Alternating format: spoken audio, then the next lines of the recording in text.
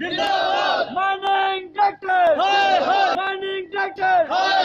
Tipper Trolley Union! Tipper Trolley Union! Tipper Trolley Union! Tipper Trolley Union! Mining tractors! Mining tractors! Mining tractors!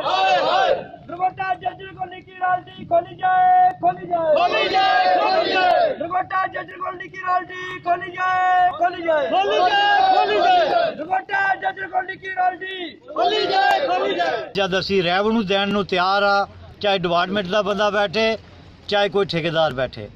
ਲੇਕਿਨ ਉਹ ਵੀ ਗੱਲ ਨਹੀਂ ਬਣਦੀ। ਗੱਡੀਆਂ ਸਾਡੀਆਂ 2 ਸਾਲ ਤੋਂ ਲੈ ਗਏ ਮਜਬੂਰ ਹੋਏ ਦੇ ਆ। ਲੇਕਿਨ 6 ਮਹੀਨੇ ਤੋਂ ਤੇ ਘਰੋਂ ਬਾਹਰ ਕੱਢਣੀਆਂ ਵੀ ਬੰਦ ਹੋ ਗਏ ਦੀਆਂ। ਅਗਰ ਕਦੇ ਕੋਈ ਗੋਬਰ ਲੱਦ ਕੇ ਵੀ ਕਿ ਦੂਏ ਖੇਤਰ ਵਿੱਚ ਜਾਓ, ਤਾਂ ਵੀ ਪੁਲਿਸ ਪਕੜ ਲੈਂਦੀ ਹੈ। ਲੇਕਿਨ ਲਿਹਾਜ਼ਾ ਅਸੀਂ ਤਾਂ ਹੀ ਮੀਡੀਆ ਦੇ ਥਰੂ ਇੱਕ ਮੈਸੇਜ ਪਹੁੰਚਾਇਆ ਹਾਂ। ਜੇ ਇਸ ਮੈਸੇਜ ਦੇ ਥਰੂ ਸ਼ਾਇਦ ਸਾਡੀ ਆਵਾਜ਼ ਕੋਦੇ ਸੁਣਾਈ ਹੋਏ ਇਸ ਤਰ੍ਹਾਂ ਦੇ ਗਰੀਬ ਦੀ ਆਵਾਜ਼ ਕਿਤੇ ਸੁਣਾਈ ਰਹੀ ਨਹੀਂ ਹੈ। ਲਿਹਾਜ਼ਾ ਅੱਜ 8 ਦਿਨ ਪੂਰੇ ਹੋ ਗਏ। ਕੋਈ ਕਿਸੇ ਸਾਈਡ ਤੋਂ ਸਾਨੂੰ ਇੱਕ ਬਾਲ ਜਿੰਨੀ ਹੈਲਪ ਮਿਲੀ, ਗੱਡੀਆਂ ਰੋਡ ਦੇ ਉੱਪਰ ਆਣੀਆਂ ਸੰਗੀਆਂ, ਉਸ ਦਿਨ ਤੋਂ ਬਾਅਦ ਪੁਲਿਸ ਨੇ ਜ਼ਿਆਦਾ ਸਖਤੀ ਕਰ ਲਈ ਹੈ। ਉਹ ਅੱਜ ਕੁਝ ਬੰਦਿਆਂ ਨੇ ਗੱਡੀਆਂ ਸਟਾਰਟ ਕੀਤੀਆਂ 6 ਮਹੀਨੇ ਦੀ ਜਿਹੜੀਆਂ ਬੰਦ ਪਈਆਂ ਉਹ ਗੱਡੀਆਂ ਨਹੀਂ ਸਟਾਰਟ ਹੋਈਆਂ।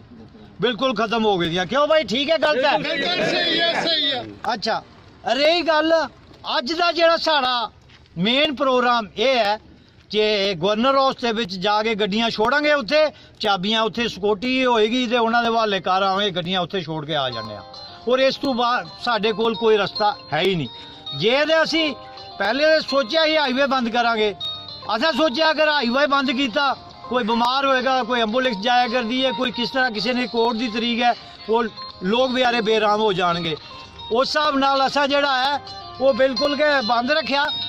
ਕਿ ਹਾਈਵੇ ਬੰਦ ਨਹੀਂ ਕਰਾਂਗੇ, ਅਸੀਂ ਜਾਾਂਗੇ ਗਵਰਨਰ ਹਾਊਸ ਤੱਕ। ਅਸੀਂ ਕੁਝ ਸਾਥੀ ਪਹੁੰਚ ਗਏ ਨਾ, ਕੋਈ ਪੁੱਜਿਆ ਕਰਦੇ ਨਾ।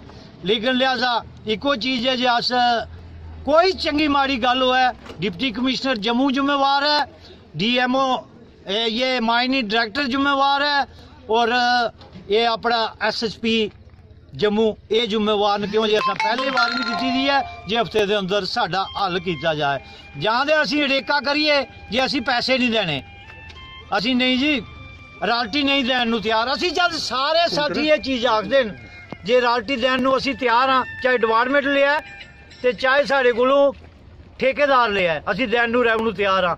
ਲੇਕਿਨ ਫਿਰ ਵੀ ਨਾ ਸਾਡੇ ਕੋਲੋਂ ਪੈਸਾ ਲੈਣਾ, ਨਾ ਪਰਚੀ ਚਾਲੂ ਕਰਨੀ, ਇਸ ਤੋਂ ਇਲਾਵਾ ਸਾਡੇ ਕੋਲ ਕੀ ਚਾਰਾ ਹੈ। ਸਭ ਦਾ ਮਾਲਕ ਹੈ ਇਸ ਵੇਲੇ ਸਾਡੀ ਸਟੇਟ ਦੇ ਵਿੱਚ ਗਵਰਨਰ।